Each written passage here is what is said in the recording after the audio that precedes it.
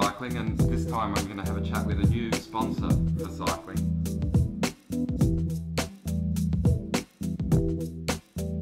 Oliver Horn is the MD for Swisse Wellness. There you go. And they just fresh off a, a press conference where they've where you've announced Swisse Wellness's arrival as a sponsor of the BMC racing team. Um, this is something that developed after the tour visited your hometown as Düsseldorf. Is that right? That's yeah, that's right. Um, so we've always, not always, but for a year or so, we've you know really been thinking about how do we reach the audiences that is really as you know, aspiring to be a hobby athlete. You know, the the weekend warriors who are out on Beach Road or in Sydney, you know, out every weekend, and you know, those are the men in their you know mid 40s, so trying to keep fit and healthy, and those are the people that we're trying to com- talk to and communicate with. And we thought cycling is just the right sport, and we've been looking for angles and how we can align ourselves with. And then um, through mutual acquaintances, we met Team BMC in Düsseldorf um, on the first um, stage of the Tour de France, and um, and here we are, you know, uh, sort of nine months later, and um, we're the vitamin supplements and mineral sponsor, and we're just excited.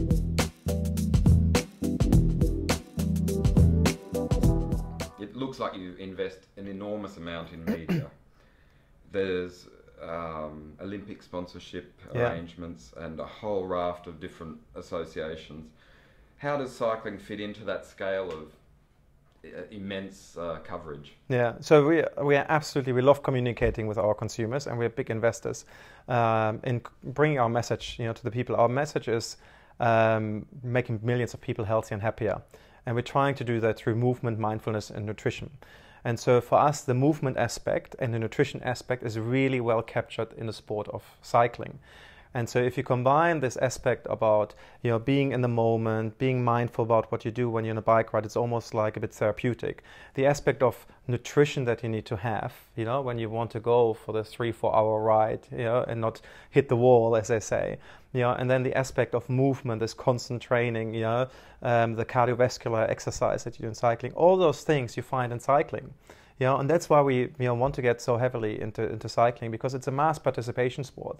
Unlike you know other media um, entities where we really partner with and invest, you know, which are a lot about spreading the message and branding. This is, much more about mass participation. Um, if you go onto a football field, you know, the AFL, for example, yes, you have eyeballs, people who view it, but how many people are really participating that are in our target audience, you know, the 30, 40, 50 year olds? Not that many. Whereas in cycling, it's almost the other way around. You got many more people who participate, who enjoy it every day, but it's actually the eyeballs are almost missing. And so we're trying to balance the, the two: the actual grassroots engagement, you know, in being in the moment when the product is really needed and consumed, compared to this advertising message which reaches eyeballs. Yes, I think the perfect example. Let's throw one of the products into the mix: magnesium. Yes. You know, if once you have a cramp on the bike and you don't know if Ah. you can unclip from the pedal, and Yeah. you're sitting there close to tears, Yeah.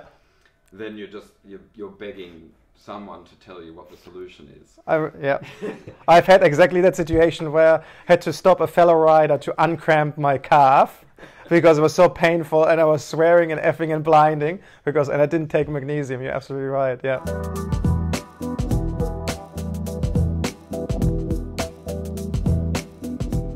Cycling become appealing, and when and, and was there a moment where you hesitated? Like for example, in December when you must Yeah. have been close to sealing this accord with BMC, and then Froome's bombshell hit. Mm-hmm. Did you feel some hesitation because of that potential of negativity? Um, look, we are, we are really well aware about the controversy that surrounds uh, cycling. Yeah, but we believe that you know Team BMC and the sport, you know, yeah, has you know, really cleaned up, and it's a good time to invest in cycling. And the reason to invest in it is actually to propagate a really good message about health and well-being. And you know, we wouldn't have done it if we wouldn't believe you know it's the right thing to do for us. Um, look, you got in every kind of sports, you got bad eggs.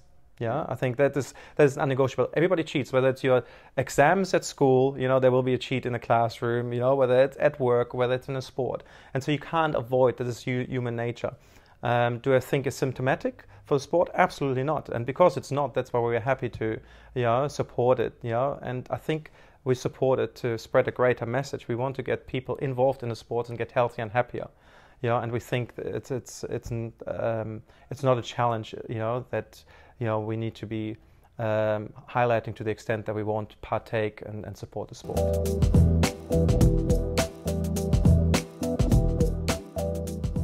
As someone who's backed the Olympic Games with commercial reasoning yeah. behind it, commercial logic, how do you see the what, what what's the the best way to to fund the future um, of sport? Is it to chase Olympic gold and then inspire the children, or is it to you, uh, yeah, yeah, i it's a component for grassroots. I, I'm agree, and I think the grassroots. I think there's the two aspects to sport. One is make it aspirational and create heroes for the youth that's coming up. Yes. Yeah, and I think that's where Australia has been really good at. But I'll give you an example. I was in London 2012 when the Olympics started, and you know, UK and England and you know the whole Commonwealth has invested really heavily in making them a success.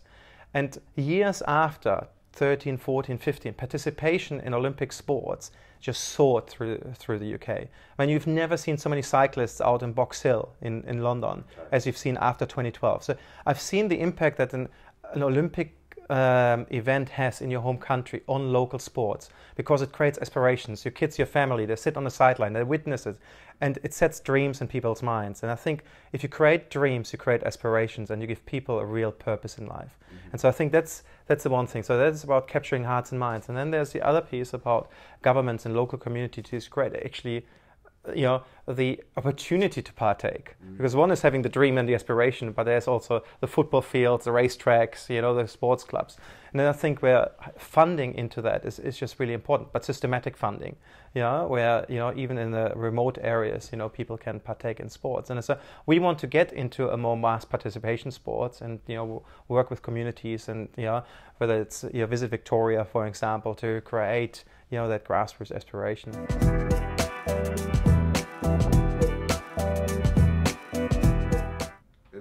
it's a very lucrative market, your supplements market, isn't it? It's a uh, actually, you know, it's probably almost the opposite on what it has been. Like a Swisse, and it's very well publicized. You know, there were years where we were almost bankrupt. Yeah, we were selling so close to the we were family run, um, you know, business really, and um, you know we were we were making we were making losses. You know, mm-hmm. this you know is, is actually a business which is only in the recent years, you know, has actually become a really sizable glo- um, global business. You know, and um, is it lucrative? Um, you know, yes, absolutely, it is lucrative, and you know, there's no um, you know, it's no secret to talk about because we published our September annual results and our profits, you know, and our growth was 23% up versus last year. And so it's very public. We're listed on the um, Hong Kong Stock Exchange and you can follow the, the reporting standards there. But most importantly, it is so such a high growth and a lucrative uh, part of the business because we are so on trend what consumers want. If you think about what consumers' mindset is these days, you know, it's about looking after their health and well-being. You know, there is this aspect about self-diagnosing. You go on Google, you see, you know, I have a cramp. What do I have to do?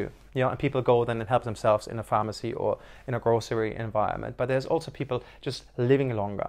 You know, there's also a new generation, you know, sort of the generation X becoming older now, being uh, brought up with a more health consciousness, the millennials coming in. So, you know, there's this awareness about that health is your biggest, you know, your biggest treasure, virtually. Mm. You know, and so, on, and that's happening on a global level.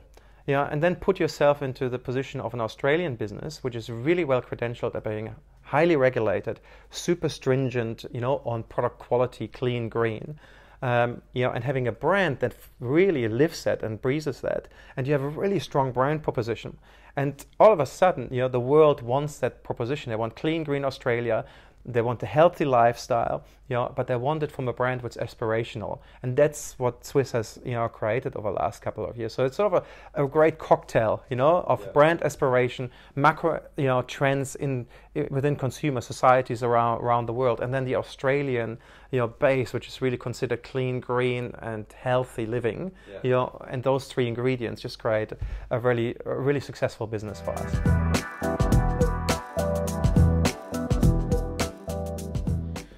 Supplement market benefit from? Um, this sounds stupid, but from junk food culture. Like, do in insofar that people might have a, a pretty abysmal diet and they try and mm-hmm. um, supplement their their poor intake yeah. with good product. Yeah.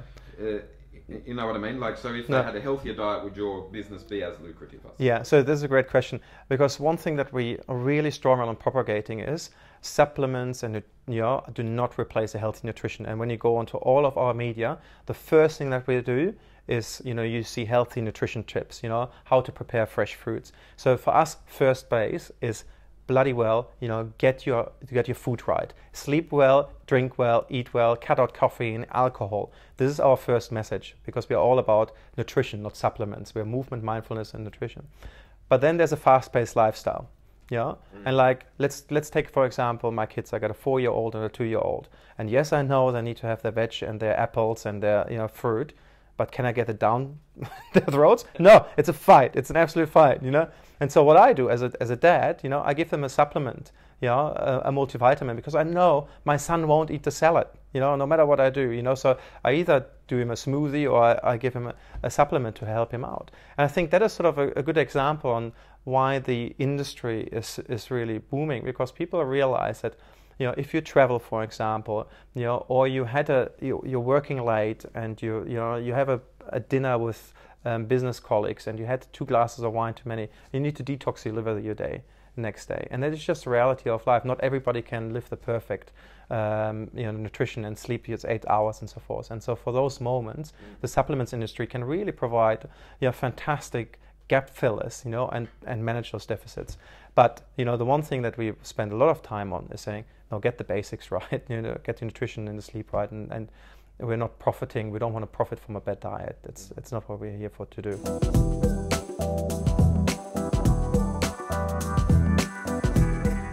Is there risk of um, the, the cynicism of placebo concepts Yeah. ruining ruining all you've built? Yeah, look, there's lots of lots of critics, um, know, out there who think those are natural uh, products and it's unproven whether they actually work. Um, you know, that's why we do clinical trials and we spend millions of dollars on our clinical trials. If you think about our one of our best sellers, which is a multivitamins uh, product, has been around since '92. We have clinical trials and all the claims on there are clinically proven. And so one of the things that we're really big on, we we we need to be as as brand owners be self-regulating and be much more stringent than any third party can be on us. And that's why we spend millions of dollars in r&d so we have partnerships with um, universities like La Trobe University with CSIRO you know we have partnerships for research. We're doing a cranberry trial at the moment a clinical trial and those clinical trials cost between one and two million dollars. And you know you can't actually um, foresee whether they're successful or not. And if they're not it's still going to be published. You know, so it's a massive risk to our business. And so, you know, I think, you know, you can only answer those cynics, know, by being self-regulating and truly develop a product that is not a cowboy approach to an industry, which can really, you know, help you living a, a more balanced life.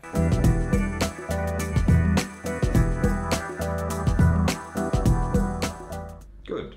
I think we're covering a lot of territory here. Yeah, But um, we, I said ten minutes. We're closing in. That's all right. 15, That's all right. Let's um, let's just have a little quick chat and in summary about your bike riding. yes. With, without you having clipped in and understood the the beauty that the bike has to offer, would you be a sponsor of pro cycling? Yes, I think because it absolutely makes sense to um, you know to reach a target audience via a global sponsorship. We are a global company, represented in nine countries, and there's not many global sponsorships where you can sponsor a team and partner with a team on a global scale and then execute that and deliver that across the world.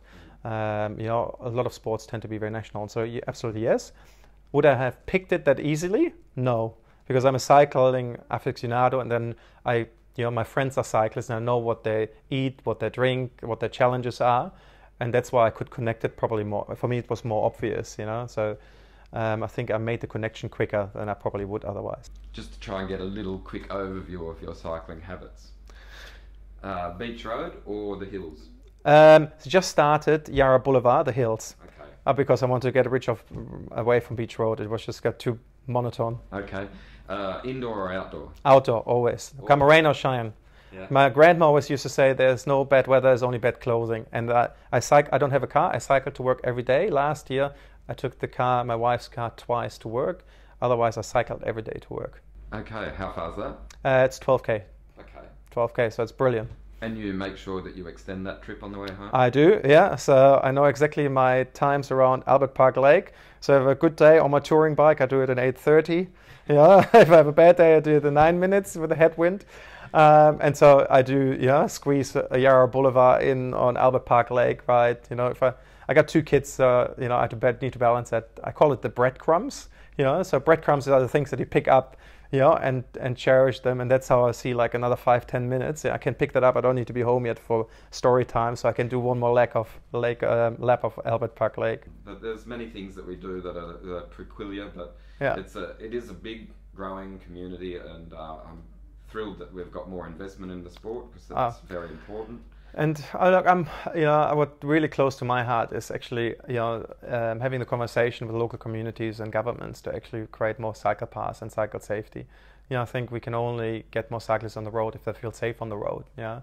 Um, and as a matter of fact, when you look at the actually statistics, you know, the use of cycling as a means of transport has actually declined, yeah, over the last four or five years, which is quite astonishing because as a hobby it's gone up, but as a commuter uh, uh, means it actually declined. And so I think we have an obligation, you know, as a um, as a society to create a safer alternative means of transport. And the bike is it. The bike is absolutely it. I mean, to the point where we just ordered a family bike, a cargo bike, where I can get the kids in the front to completely replace the car on the weekend. Mm-hmm. Um, but you always, and certainly my wife feels a bit hesitant about getting on the road, you know, with the kids in the front and, mm. yeah, not knowing what's going on on the road. We will remove the risk and create the spiritual change that's required, and everyone will ride off into the sunset happy people. That would be a beautiful vision.